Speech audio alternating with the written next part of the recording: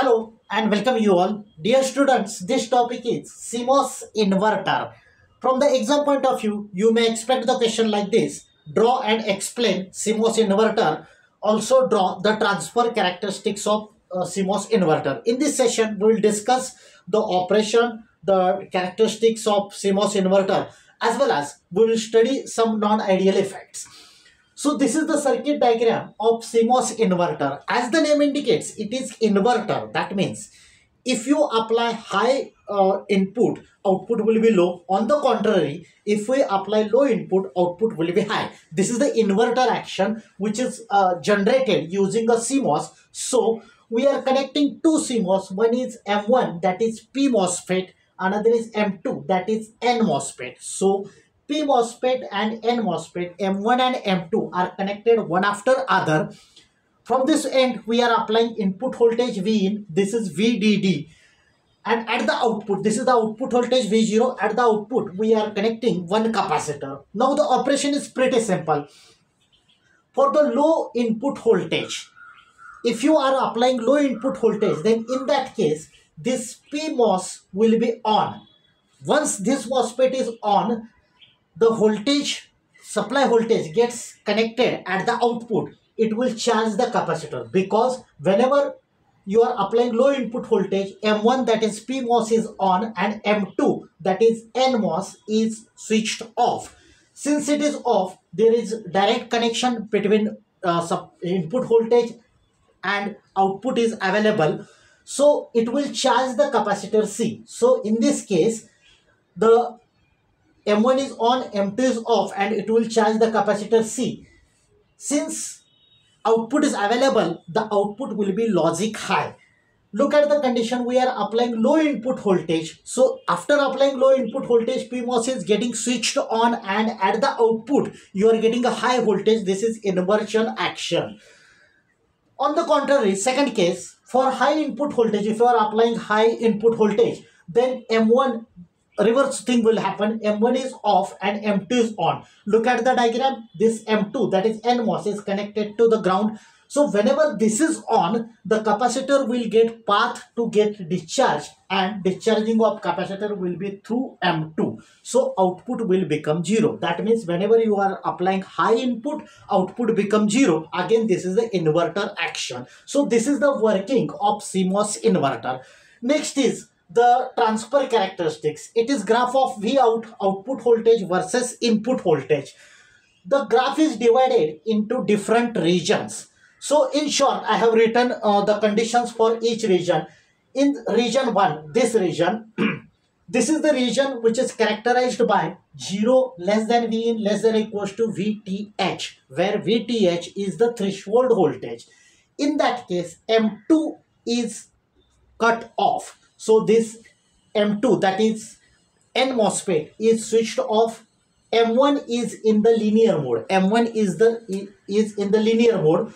So output is equals to VDD because this VDD is directly available at the output because M2 is off and M1 is in linear mode. Region B, this region, region B, in this case, M1 is in linear mode. Keep in mind M1 is P MOSFET and M2 goes into saturation. So since M2 goes into saturation, M2 was earlier in the cutoff condition. So M2 goes into saturation, output voltage starts decreasing. In region C, both M1 and M2 are in saturation mode. Region C is this region. Both M1 and M2 are in saturation mode. Region D, in this region, M1 is in saturation and M2 is in linear mode. And region E, last region, so it is in this region M1 is off and M2 is in linear mode. That means M1 this P MOSFET is switched off and N MOSFET is switched on. So discharging of capacitor takes place. This is the transfer characteristics or graph of V out versus V in for CMOS inverter. Now we will discuss different effects related to MOSFET. First is channel length modulation. From the exam point of view, you may expect uh, few questions like this. Uh, describe channel length modulation in case of a MOSFET or what is the concept of uh, velocity modulation. So first is channel length modulation. As the name indicates, the length of a channel is changed due to certain conditions. This is the channel length modulation. Actually, in the saturation mode, whenever MOSFET transistor is in the saturation mode, then the transistor acts as a perfect current source. That means in that case IDS where IDS is the drain to source current remains constant. Since this current is constant, the MOSFET transistor acts as a constant current source and this value is not dependent on VDS. VDS is drain to source voltage. That means even if we vary uh, VDS, then also this IDS remains constant. So transistor is acting as a constant current source. But practically, it's not true. In practical cases, if we go on increasing drain to source voltage, that means as VDS increases, the depletion region at the drain junction increases and effective channel length reduces. Actually, there is one condition which is called a pinch-off condition. In that case, as the VDS goes on increasing, this pinch-off point, this point I am talking about, so this pinch-off point gets shifted towards source terminal. It will reduce down the effective length of a channel. This particular thing in which uh, as we go on increasing VDS, the length of a channel decreases is called channel length modulation. Next is velocity saturation effect. Actually, the velocity of a charged carrier, this V stands for velocity. Velocity of a charged carrier is directly proportional to applied electric field. This sign is directly proportional to or linearly proportional to E stands for applied electric field and the proportionality constant is mu where mu is the mobility mobility of a charged uh, carrier. So velocity of a charged carrier is directly or linearly proportional to the applied electric field. But there is a certain extent there is a certain limit. See in this diagram this is the graph of vd velocity of a charged carrier versus electric field. So ideally up to this point the value of uh, this velocity of charged carriers goes on increasing with increase in uh, value of electric field E. But when this value of E reaches a certain limit, that means this value is called critical value of electric field. When it reaches a critical value, then in case of a MOSFET, the velocity of a charged carrier does not increase beyond this point beyond V saturation C. Initially, this velocity of a charged carrier in MOSFET is changing with respect to electric field E. On this uh, graph we are plotting, on this axis we are plotting electric field.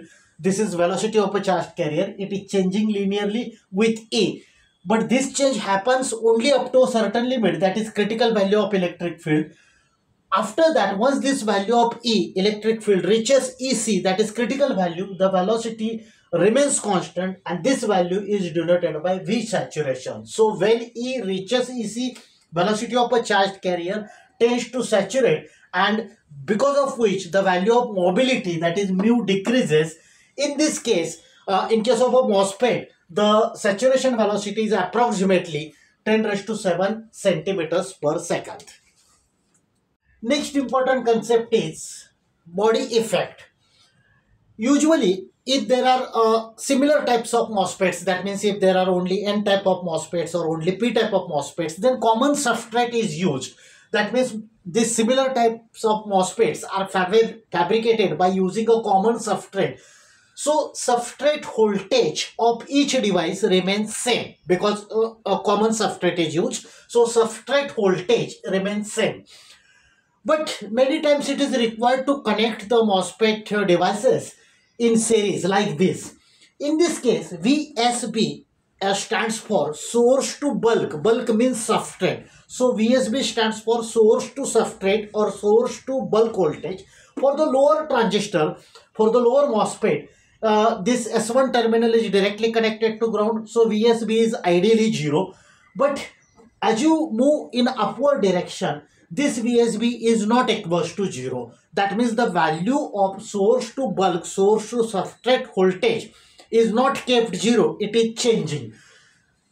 So in this case, this, as I said, um, uh, if there are similar types of MOSFET, then a common substrate is used. And if we are using N type of MOSFET, uh, then the substrate is connected to the most negative terminal on that particular thing, on that particular circuit the substrate voltage adds to the channel junction uh, potential. So as we move further, if there are there is a series connection one above the other, then as we move further, the channel junction channel substrate junction potential increases because VSB is not zero.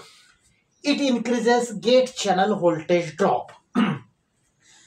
Make the thing simple. Remember it like this. Since VSB is 0 for the lower MOSFET, for the upper one it is not 0. Likewise, if there are n number of uh, MOSFET devices, then the value of VSB, VSB is source to a bulk or source to substrate voltage uh, will go on changing. So net effect is there is a change in VTH where VTH is the threshold voltage. That means the threshold voltage increases due to the non-zero value of VSB. This change of VTS threshold voltage with respect to VSB that is source to bulk or source to substrate voltage is called body effect of a MOSFET. The next effect is hot electron effect.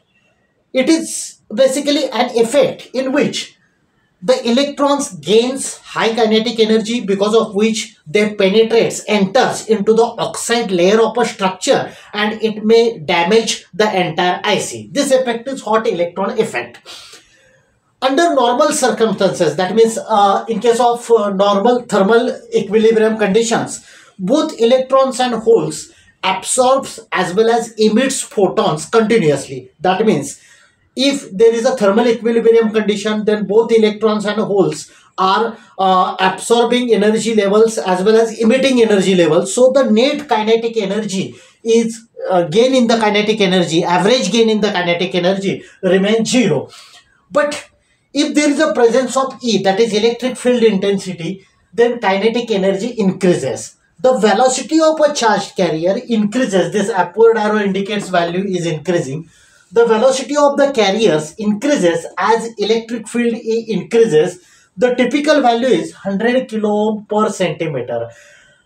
If the value of electric field, applied electric field reaches typically up to 100 kilovolt per uh, centimeter, then the carriers, that is electrons or holes, will not remain in the thermal equilibrium conditions these carriers causes impact ionization. This is one concept in which uh, number of more number of electron and hole pairs are generated it it is also called avalanche multiplication so existing electron and holes causes impact ionization with the lattice structure which produces more and more number of electrons and holes these carriers injects in the oxide layer and may damage the IC.